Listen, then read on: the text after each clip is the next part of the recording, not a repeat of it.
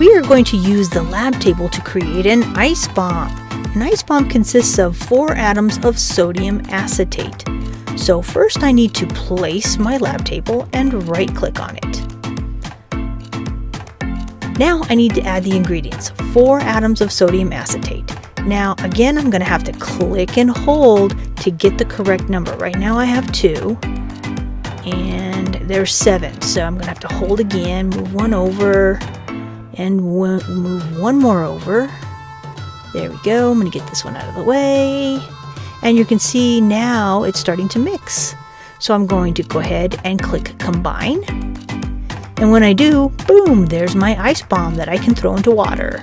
Again, I can't get this through inventory or give to myself.